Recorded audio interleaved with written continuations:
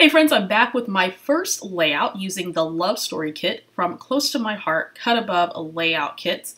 If you watch my unboxing, then you know that Close to My Heart just released this kit offering.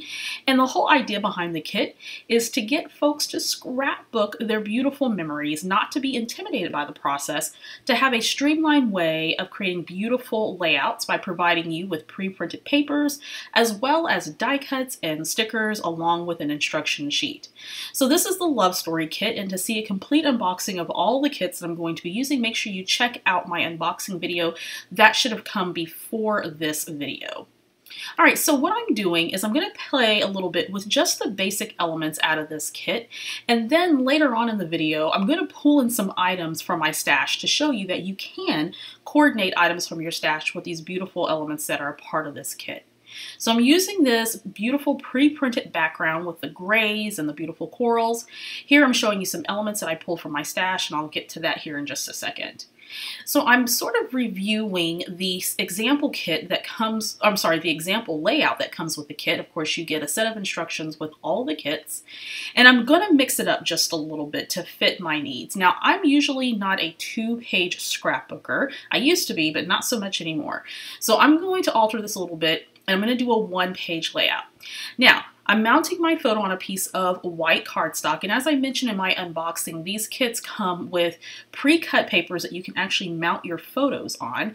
However, the color of the paper was gray, and I printed my, my photo in black and white, and so I needed something that was going to distinguish my photo from the rest of that gray tone that's in the background. So I mounted my paper on white cardstock. Now I'm going to bring in a text phrase that says together, and this particular sticker die cut is separate, so it comes in two pieces, and I struggled just a little bit to get it straight because I don't have an eye for straight. Now I'm going to go ahead and adhere this little flourish, or I guess it's a doily, looks like a half doily, maybe that's a better description, adding some Tombow Mono adhesive, and I'm going to adhere that to the side, and I'm somewhat following the example layout that came with the instructions, and guess what, that's perfectly okay, that's the whole whole point of this kit is that you can follow the directions as they are, or at least follow what's provided in the example layout, or you can mix it up and do your own thing. The whole point is to keep it simple um, so that you're documenting your story and making beautiful pages. So now I'm creating clusters using stickers and die cuts, the floral elements out of the die cut and the sticker set. And I'm looking at the example layout, and the only thing that's really different is the fact I use the together versus the pink font, and then also I only have one photo.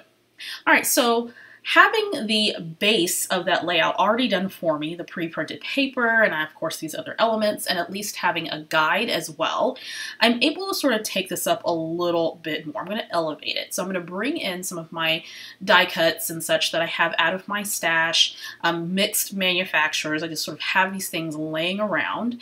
And I picked items that I felt coordinated well with the colors in this kit. So I knew that blue turquoise would look great with the gray and the coral. And of course that little chipboard uh, clothespin looks adorable, kind of bringing in that wood grain texture. It's really fun.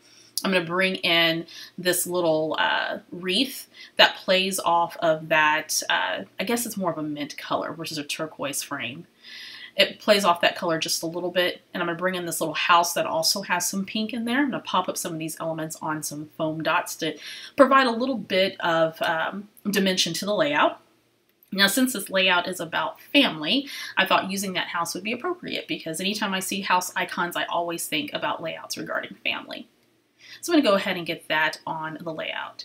Now I'm going to bring in those stickers that came with the kit. So there goes that floral sticker that's now going to be to the left hand side of the house, as well as this little die cut flower. And I'm going to create yet another floral cluster there to the right hand side by the frame. And I'm also going to add in the die cut flower on top of that little sticker flower, and I think that looks good. I'm going to introduce a new color, which is yellow. So I'm going to do that with this little tab sticker. This is from a very old Felicity Jane sticker sheet.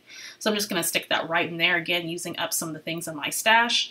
And then I cut out this little banner that says happy. So now my title reads happy together. And I'm going to go ahead and adhere that straight to the background, just bring in some more of those beautiful coordinating colors. Now see how that looks a little bit different than the example, but I'm using items from my stash. I didn't have to think too hard about it because the paper was already done for me and I already had a good place to start. So you could keep it just the way that it is. using the items that you have in the kit, or you can bring in items from your stash and then make your layout unique to your design aesthetic. So now I'm using some of those journaling uh, die cut stickers, uh, the little strips, and I wrote out my journaling on the strips, which I absolutely love. I'm adding in some little puffy stickers. Again, I think that's from a Felicity Jane puffy sticker sheet. Can't remember, but I'm almost certain that it is. And so I'm adding those cute little puffy stickers there. And then I'm going to go back to the sticker sheet that came with the kit. I'm going to add a label that says I adore. I'm going to put that right on top of that Felicity Jane tab. And I'm going to move that little um, puffy heart down just a little bit by the flowers. Alrighty, so now I'm going to go ahead and write the date on the back of the layout. This is something that I've been doing recently because for some reason when I write dates or stamp dates on my layouts, they don't look good to me. So I just write them on the back so I remember when this particular story or happening occurred. So now I'm looking and comparing it to the example layout.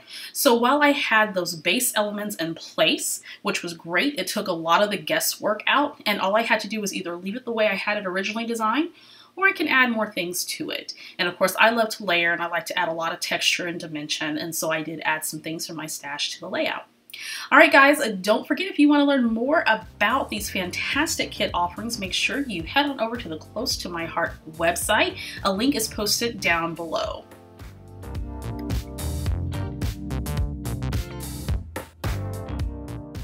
Hey, before you go, make sure you subscribe to the Victoria Marie YouTube channel, and when you do, click that bell indicator. That way you'll be notified every time a new video is posted here to the channel. Now you go and be creative.